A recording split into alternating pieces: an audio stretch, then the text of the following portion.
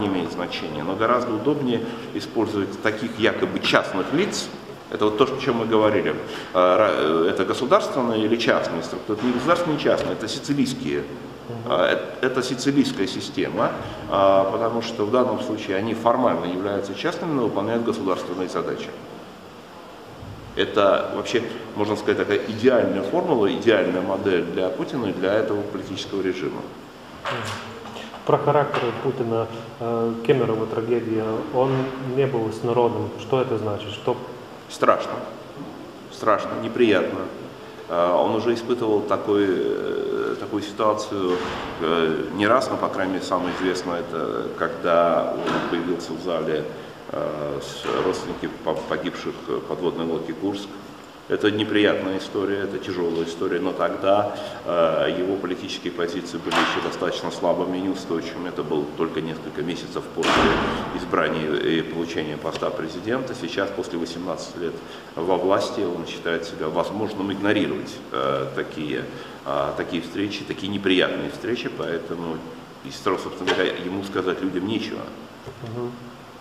Ему э, трудно было найти соответствующие слова э, во время встречи с э, семьями погибших Курска, а но сейчас он даже не хочет тратить на это время, силы, свою э, душевную энергию и так далее.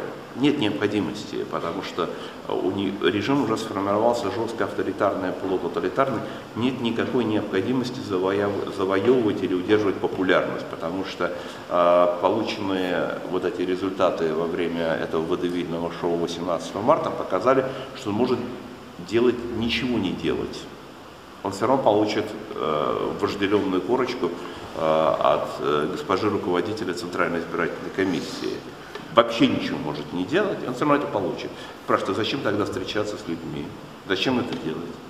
Абсолютно нет никакой необходимости. То есть вот э, за эти 18 лет произошло а, радикальное увеличение дистанции между ними и людьми, какими бы они ни были. Еще в 2000 году он мог ходить и говорить, знаете, меня тут поддерживают, тут люди плачут, бросаются на шею и говорит все такое. Сейчас ему этого не нужно. Потому что э, э, инструментарием э, вот, политических технологий, э, пропагандистских технологий, финансовых технологий э, обеспечивается его сохранение у власти, независимо ни от чего. Какая бы трагедия ни произошла, сколько бы людей не погибло, сколько бы людей не по- погибло в Украине, в Сирии, э, в Чечне, в Грузии, э, в Кемерово, в каком бы другом месте, не- нет никакой необходимости. А как народ реагирует э, такому поведению Путина? В тоталитарном режиме э, народ безмолвствует, как еще учил Александр Сергеевич Пушкин э, в бессмертной поэме Борис Годунов. Народ безмолвствует, то есть он даже может быть и говорит, но его не слышно.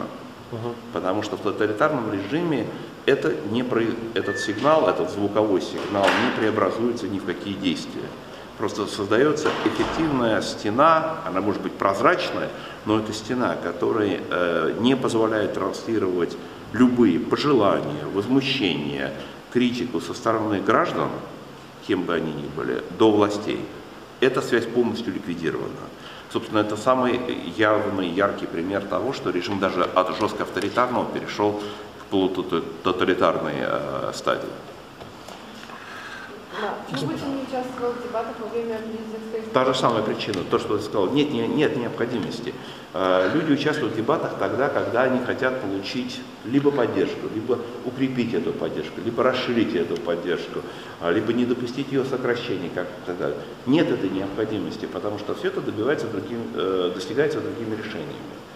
И дебаты, и там, участие в разговорах с людьми, это все элементы демократической политики. Это политика, где э, люди имеют права на высказывание, и где власти обязаны их слушать. Может быть, не всегда они ответят, может быть, не так ответят, но они обязаны общаться с людьми. А тоталитарный режим характерен тем, что лидер или там вождь, или там фюрер, или э, император, или хан, или султан, кто угодно, у него нет необходимости общаться с этими людьми. Он может общаться только с любимыми э, там, визерями, э, наложницами, кем угодно. Общаться с э, вот, э, тем, кто там в стране, нет никакой необходимости. Совсем есть э, какая стратегия, что будет дальше? У кого? У у Путина? Конечно, Путина. Конечно, вне всякого сомнения. Еще раз повторю то, что сказал на сессии, еще раз хочу сказать, донести до всех. Ни в коем случае нельзя недооценивать противника, и в том числе такого успешного противника, потому что если находится 18 лет у власти, надо признавать, это успешная позиция. Э, говорить о том, что у Путина нет планов, это просто не понимать его совсем, в том числе э, наблюдая его действия в течение 18 лет. Все серьезные проекты Путин серьезно готовит, серьезно планирует, долго готовит, с большим количеством возможных вариантов и с э, э посвящением, погружением, собственным погружением в большое количество деталей.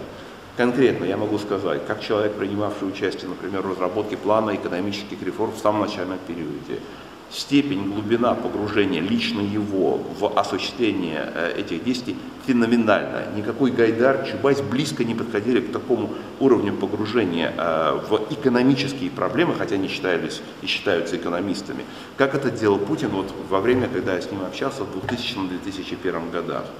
Это феноменально, это просто невозможно себе было представить этого.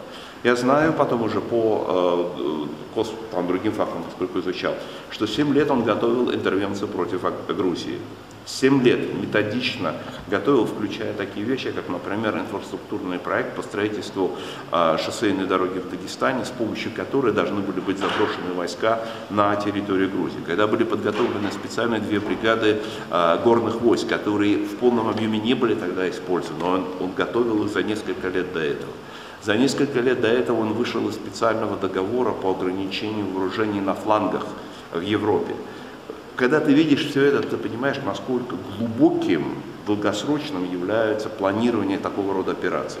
Операцию э, в, против э, Украины он готовил 4, 11 лет, э, с 2003 до 2004, когда она была осуществлена.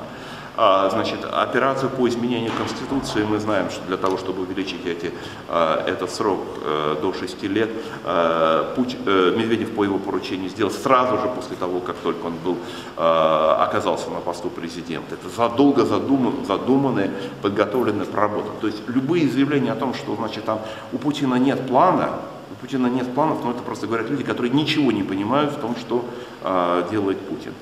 Это человек, который тщательно относится к каждому своему шагу, особенно серьезным шагам, стратегическим шагам, а, который серьезно продуман, серьезно обсуждает эти а, свои планы с людьми, которых он считает а, там, специалистами, экспертами, профессионалами в этой области, и с которыми он последовательно делает такой follow-up, следует тем, как меняется ситуация, какие дополнительные факторы появляются и так далее. Например, он тяжелейшим образом переживал э, в 2005 году, когда происходила монетизация льгот, которую в основном готовил Кудрин в течение там, полутора или двух лет и которая оказалась просто недостаточно просчитанной и подготовленной. Хотя он принимал в этом участие, а он в какой-то степени, конечно, не полностью все, он сам считает, естественно, есть люди для этого. Но потом, когда выяснилось, что эта монетизация оказалась э, просто не, не до конца просчитана, они просчитались на несколько э, десятков миллиардов рублей, что в те времена огромную сумму, а, вот, э, то это был очень болезненным для него лично э, ударом, потому что это говорило о том, что сам он отнесся недостаточно серьезно к этому одному из важнейших проектов, э, которые осуществлялись под его эгидой. Угу. Поэтому, конечно, план есть и на эти шесть лет, и на последующие годы. А вот мы не о всех этих планах знаем, или можем о каких-то догадываться, но то, что э, эти шесть, а также последующие лет, а также последующие годы очень серьезно продуманы в отношениях э, законодательном, что делать и как это делать, увидим, что после 7 мая, после инаугурации, какие действия будут приниматься как скоро, во внутренней политике и во внешней политике, вне всякого сомнения. Но он, человек в этом смысле немножко формалист, он не будет этих э, шагов осуществлять вот после выборов до 7 мая. Он дождется 7 мая, и вот 8 мая он будет это делать. Как вы думаете, у его план есть э, мирная война? Мировая. Мировая. Мировая. Да. Значит, ну, я об этом уже, не, во-первых, немножко сказал на панеле, и сегодня поставил пост у себя э, в журнале, э, если вам интересно, можете взглянуть. Э, войны в традиционном смысле не будет. Я утверждаю это. Вот это, это моя точка зрения. Если я ошибусь, ну, значит, вы скажете, что ошибся. Но с моей точки зрения ее не будет, потому что соотношение ресурсов в традиционном смысле этого слова настолько не в пользу России, а, что дело даже не в том, что надо быть безумцем, тут не, тут не надо никем быть, потому что соотношение слишком очевидное. Там, соотношение по военным расходам 13 к 1. А, соотношение по ВВП, там, я не знаю, 10 к 1. А, соотношение по расходам, военным расходам на одного военнослужащего НАТО против России 3,5 к 1. А если брать американские войска и российские войска, 10 к 1. То есть это просто вот военная вооруженность, там, техническая вооруженность, там, вооружение средствами связи, чем угодно, а, со стороны американцев, со стороны российских войск. Эта война просто, если бы она такая была, просто была на истребление, на истребление слабейшего просто. Как это произошло с ЧВК Вагнера э, под Дезезором. А, поэтому такой войны в традиционном смысле а Путин точно будет избегать из-за всяческих сил, ну а Запад не заинтересован в этом, естественно, тоже. Но, э, э, но Путин, поскольку имеет свое представление о своих слабых и сильных сторонах, сильными его сторонами является обладание такими ресурсами, которым Запад либо не обладает, либо обладает в гораздо меньшей степени. Химическое оружие. Он обладает, Запад нет. Э, использование ядерного оружия, скажем, например, полония для отравления людей – Запад этим не занимается, этого не знал до недавнего времени, а у него это есть. И я уверен, что мы еще не знаем многих других элементов оружия, но мы узнали о том, что есть там интернет-тролли, есть там пропаганда, есть там вещи, которых тоже там, э, если русские уже знали это там 10 лет последних, то, э, скажем, наши соседи и там те же самые американцы этого не знали, хотя им сколько рассказывали, они в это поверить не могли. Наконец это дошло до них, они с этим познакомились. Но это тоже новое средство, новое оружие. А, при использовании которого у Кремля было явное преимущество, потому что это было новое оружие, а, а жертва не знала об этом, не знала о масштабах применения, о том, как это использовать, как от этого защищаться, э, в том числе в условиях э, открытого общества, в условиях демократии, а, в условиях там, первой поправки, э, свободы слова и так далее. Только со временем Запад вырабатывает противоядия, инструменты, технологии, методики. Я имею в виду Запад в самом широком смысле слова от э, Соединенных Штатов до Литвы, потому что то же самое, как бы жертвой э, становится, неважно, кто за пределами э, российских границ. Это все требует, э, требует сил, требует времени, требует технологий, требует знать. Но, например, сегодня уже э, западные страны, западное общество в гораздо большей степени подготовлены к такого рода, например, пропагандистским атакам. Гораздо лучше понимают это. Создано уже немало центров по разоблачению там, лжи, фальсификаций, фейков, реагирования на это. Все понимают, что есть реальные комментаторы, есть фейковые, троллевые, троллинговые комментаторы и так далее. Сейчас, после, конечно, отравления полонием и новичком, а, средства защиты людей от химического и радиационного поражения, естественно, будут развиваться гораздо более энергичными темпами, и не только в Великобритании, а во всех западных странах. А, я тоже упоминал, что, вот, например, энергетическое оружие, которым не использовал даже Советский Союз, мы знаем, во времена. Поскольку Путин стал использовать, Литва тоже применила свое противоядие, э, создав газовый терминал, и тем самым образом пытаясь защитить собственную экономику от э, энергетического шантажа. То есть это идет постоянный процесс, э, с одной стороны, разработки новых методов, нетрадиционных методов введения военных действий, и выработки противоядия, защиты против этих методов действий. Что же касается традиционных, вот еще раз скажу, традиционных военных действий, я испытываю исключительно глубокий скепсис о том, что такое возможно. А ядерное оружие? Э, опять-таки, это традиционные методы. Это традиционные методы, которые там сравниваются. Нет, никакого смысла. То, что он сделал, то, что он заявление о том, что там, значит, кому нужен такой мир без России, это чистый шантаж в стиле Ким Чен Ира э, и все эти э, самые семейки, о чем еще Андрей Пьянковский давным-давно написал, что, значит, если у того есть ведро ядерных отходов, то у, того такой, у этого такой арсенал, почему бы этим не воспользоваться. Но э, старая русская пословица говорит, что лающая собака не кусает. А, значит, э, Путин никогда не говорил о том, что мы будем использовать яд новичок, и поэтому он использовал. Он никогда не говорил, что будем использовать радиационное средство полоний, и он это использовал. А когда он говорит, что он будет делать и что он будет использовать, это очень хороший индикатор, что этого никогда не будет применено. Ситуация с российской экономикой. Стагнация. Э, Причем это не просто сегодня. Сегодня это имеет измерение 10 лет. Э, С э, июля 2008 года э, до апреля 2018 года российская экономика находится в стагнации, причем в стагнации в точном соответствии с экономическим содержанием этого термина. Вы помните, э, все помнят о том, что э, период, второй период э, правления Брежнева в Советском Союзе э, получил название застоя. Или по э, латыни, или там, на западных языках это называется стагнация. Так вот, за последние 10 лет э, брежневского режима, Брежнев был у власти 18 лет, так вот, за последние 10 лет брежневского режима а, ВВП Советского Союза вырос на 17%. И это было названо, закономерно названо застоем, стагнацией. Теперь за точно такой же период времени, за 10 лет, как бы второй длинный период Путина или вторая половина правления Путина, российский ВВП вырос на 2,3%. Это несопоставимо с Брежневым. То есть если Брежнев по сравнению с ним, это можно сказать э, скачущий заяц по сравнению с э, медленно ползущей улиткой, непонятно в какую сторону. А, Понятно, что эти 10 лет э, включают в себя периоды падения, некоторого роста, стабилизации, нового падения, еще раз падение, еще раз падение, там была ступенька такая трех, потом некоторого а, оживления, потом снова падение, стабилизация. В общем, в целом за 10 лет а, фактически никакого экономического роста в России не произошло, потому что 2% за а, 10 лет это ничего.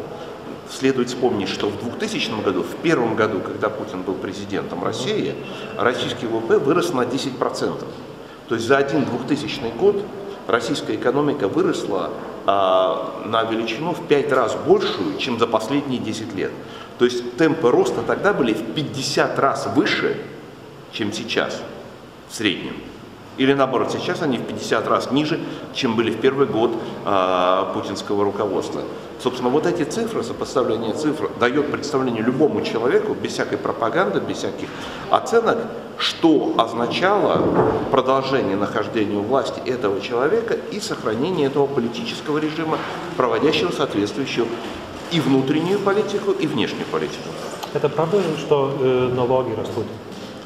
А, Но сейчас э, там увеличились разные там, э, сборы, но то, что сейчас предложил Дворкович, э, собственно, выступал по этому, предлагая изменить ставку подоходного налога с 13 на 15 процентов, но это называется нанесение смертельного удара, похорон, тем самым экономическим решением, которые были приняты в 2000 году, тем самым же Путиным, ну, по рекомендациям той экономической команды, которая тогда была, включая меня, естественно. А Вот, и это ставит окончательный крест на том повороте, не только идеологическом, не только внешнеполитическом, но и на экономическом а, а, развитии экономической политики, а, который Путин вот, эволюционировал или де- деволюционировал за последнее время. То есть никакого отношения там, ни к либеральной экономической политике, как сегодня некоторые э, странно утверждали, это ничего к этому не имеет. Вообще, строго говоря, э, поддержание бюджетной или там, фискальной стабильности это не либеральная политика, это любая политика, независимо от э, направления э, идеологического направления того или иного человека. Это не имеет никакого отношения. Просто безответственная фискальная политика это просто свидетельство э, явного непрофессионализма, но ни в коей мере не свидетельство той или иной идеологической направленности. Санкции, санкции США вводили фондовый рынок России, также российского рубля. Про что это свидетельствует, про экономику России?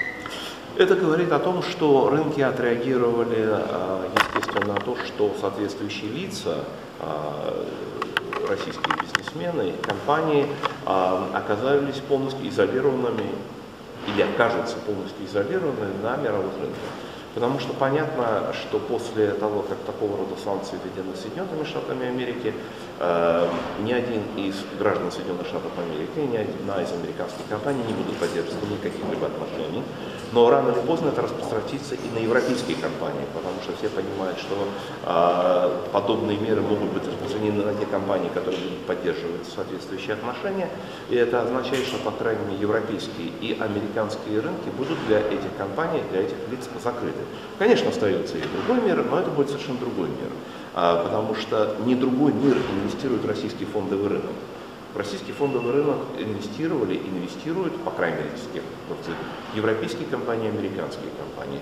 Там не так много венесуэльских, северокорейских, иранских и, и такого рода компаний. Даже китайских не так много. Поэтому это означает э, радикальный поворот во внешнеэкономическом позиционировании пока только этих граждан, но и не только этих граждан, потому что все понимают, что это лишь только первая ступенька, а, первый шаг э, санкций, за который последуют новые потому что лица, которые э, оказались в этом списке, это лица из так называемого кремлевского доклада, который был подготовлен э, в январе э, этого года, и 30 января был передан в закрытой его части э, в Конгресс Соединенных Штатов Америки. Там несколько сот имен. Сейчас из этих э, сот, нескольких сот имен взято 7 э, фамилий бизнесменов и 17 имен э, государственных чиновников. В э, кремлевском докладе гораздо больше имен и людей, и компаний. Вы также э, участвовали в составлении меморандума из Кремлевского доклада, вы оцените э, тогда эффективность санкций, принятых США? Не, оказалось, что эффективность вот даже вот этой первой волны, которая на самом деле, строго говоря, крохотная, она буквально минимальная, э, потому что всего лишь 7 бизнесменов, да, они не крупные, никто не будет говорить, что они мелкие, но, по крайней мере, некоторые из них, и компании не маленькие, но в принципе, как э, удельный вес в российской экономике, они составляют несопоставимо скромную величину, несопоставимую с тем падением фондового рынка, который произошел э, в результате введения этих санкций, и несопоставимую с тем падением курса рубля, который произошел. Это говорит о том, что если будут предприняты следующие шаги, и когда они будут предприняты, включая и вторую, и третью, и следующие э, волны, последствия для российского фондового рынка, для российского валютного рынка будут гораздо более существенными. А, ну, вообще, как долго может продержаться такая тенденция, какие долгосрочные эффекты? Э, ну, это будет означать, что та стагнация, о которой мы говорили вот до этого, она точно будет продолжаться. И, скорее всего, от слабо положительных значений, когда тот же самый Путин, значит, с гордостью говорят, что ах, там ВВП вырос на 1% или там на 1,3%, хотя в 2000 году он даже не замечал, что или практически не обращал на это внимания, не, не выставлял это в качестве собственного достижения, что а, российский ВВП вырос на 10%. То не будет даже этого, будет нулевой или будет отрицательный рост. Также хочет в ответ ввести санкции свои российские. Как это будет ну, никто не мешает стрелять в собственную ногу, а, как говорят наши американские друзья, или бомбить собственные воронежки, говорят в России. То есть э, хорошо известно, что все эти санкции действительно можно вводить, тем самым ухудшая собственное положение. То есть никто никогда не мешал разбивать свою голову о стену. А у Путина и его команды сохраняется эта возможность и сейчас. Какими бы они ни были, нет. Просто, понимаете, для нормального человека очень трудно прогнозировать э, поведение воспаленного сознания. А также вот это падение курса рубля отразилось и в Беларуси. Сколько это отразится на экономике Беларуси? И, может, это означает э, опасение конфликта между Западом и негативное влияние на экономику? Нет, ну, знаете, падение э, валют э, стран, э, являющихся соседями России, действительно произошло. Это произошло и с белорусским рублем, это произошло с казахстанским тенге. Э, и это естественно, потому что экономики обеих стран и других стран тоже довольно сильно завязаны на Россию. И в, и в этом смысле они просто реагируют на то, что происходит на крупнейшем э, рынке круп, э, торговых партнеров. Ничего удивительного в этом странного нету. Но большого, большого ужаса для ваших экономик не произойдет. Просто временно получат ваши экспортеры некоторые преимущества при поставках товаров э, на российский рынок, если, конечно, не будут введены э, новые какие-либо э, ограничения, регулирования, которые, там, например, по поводу молока, как там заявляют там, российский министр сельского хозяйства, что еще раз подчеркивает всю нелепость э, той конструкции э, Евразийского экономического союза, который создается, который не имеет ничего общего ни к рынку, ни к свободному рынку, тем более. А как может еще пострадать Запад? Ну, сказать, санкции э, именно ну, влияют на предприятия, находящиеся в Америке, российские, на... Я такого, честно говоря, не помню, чтобы я такого говорил. А на Запад это повлиять не может, э, негативно как-то повлиять не может. Просто сейчас э, постепенно все эти шаги ведут э, все большей конфронтации, в которой э, появляются новые новые элементы. Появляются экономические элементы, финансовые элементы, визовые элементы, появляются военные элементы. И, собственно говоря, НАТО выдвинула значительную часть своих подразделений в балтийские страны. Я не удивлюсь, что эти контингенты будут увеличены. А мы сейчас все в ожидании того, что произойдет в Сирии и какое, какой характер приобретет значит, вот, э, возможные действия а, американских а, вооруженных сил и их союзников на территории Сирии, и каким будет ответ или каким не будет ответ со стороны России в этом случае. Но видно, что количество инструментов, используемых в этой конфронтации, возрастает. И некоторые из этих инструментов носят совершенно нетрадиционный характер, как мы видели по использованию новичка э, и каких-то подобных инструментов. А как эм, вообще влиять, э, как, санкции, как вообще, в каких случаях еще могут внести новые санкции? Они сейчас уже могут вводиться в любом случае, собственно говоря, э, без привязки к каким-либо решениям, то есть буквально все что угодно. А вот, например, сейчас вот эти санкции, э, значит, или там, сказать, вот эта очередная волна, даже не санкции пока, очередная волна обмена любезностями публично произошла не в связи с действиями непосредственно России, а в связи, в связи с действиями осада, использованием им химического оружия против собственных граждан. Но результатом этого стало публичное утверждение о том, что а, это может очень серьезно а, сказаться на России, на российском режиме. Поэтому сейчас э, конфронтация выходит на новый качественный характер, когда для того, чтобы предпринять следующий шаг, не нужно ожидать какой-либо новой провокации, которая бы приглашала бы или позволяла бы, или делала бы возможным следующий шаг. У этой конфронтации уже запускается свой самоподдерживающий ее механизм. Э, поэтому любые шаги можно ожидать теперь уже практически в любое время, независимо от того, что делает та или иная сторона.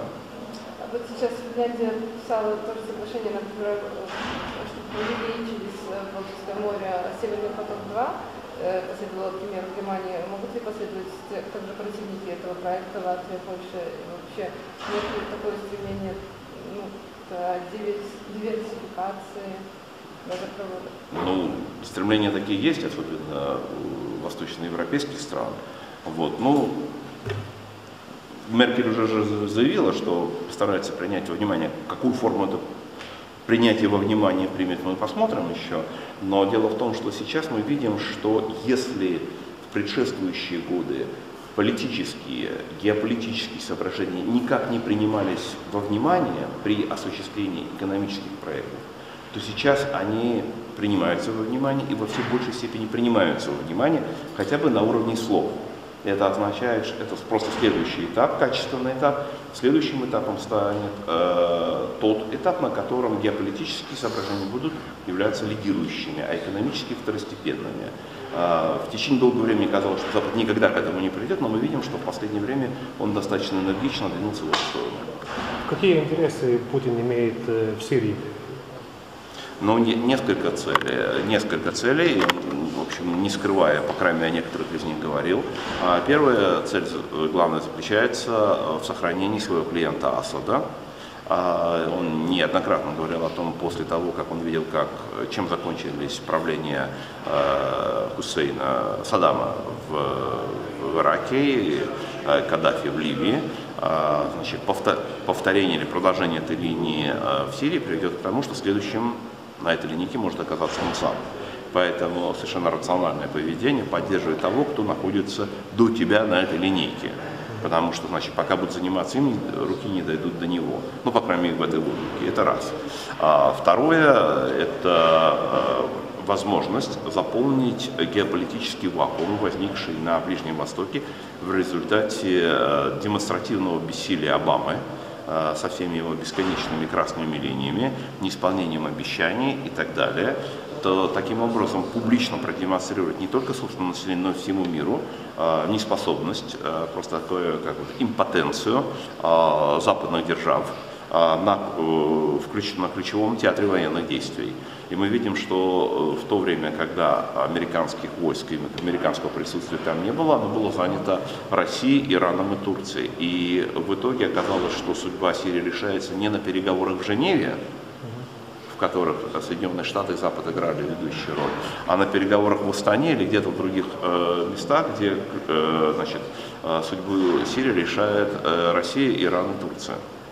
Такого представить себе там, 5 лет тому назад было просто невозможно. Оказалось это возможно. Почему? Потому что, как говорят наши англосаксонские друзья, важно where boots on the land.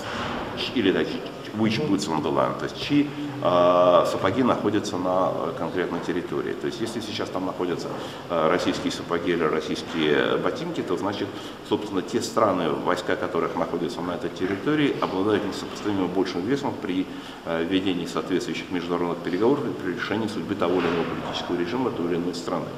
Поэтому э, это довольно существенная геополитическая э, ну, нельзя сейчас пока еще сказать победа, но очень довольно существенно приобретение активов э, на стороне Путина, которая почти исключительно э, получилась в результате импотенции э, обамовской администрации.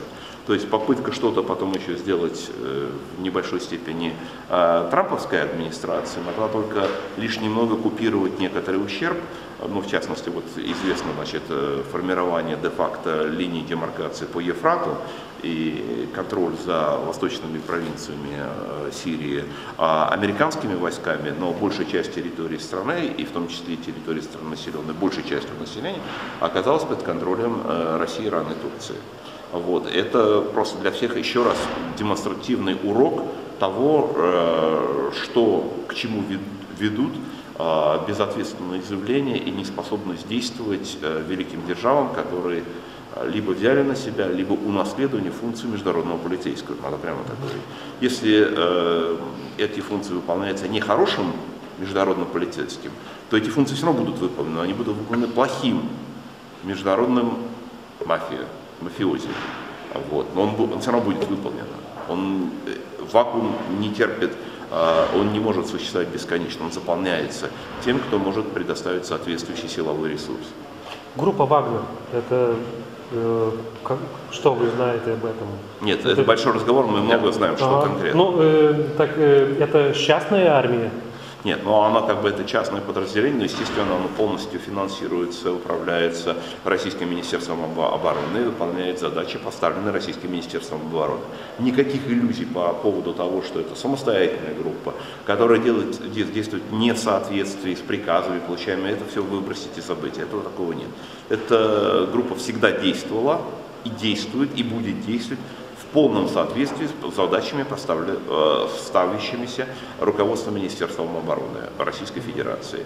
Э, значит, бойцы Вагнера брали Пальмиру, э, значит, отдавали Пальму так сказать, пропагандистскую регулярным войскам, платили за это собственной кровью собственными жизнями и продолжают платить за это, но так, таковы условия контракта, которые они подписали. Но в любом случае это одна из там дальних, длинных рук э, того же российского министерства обороны. А кто такой Пригожин? Шеф-повар?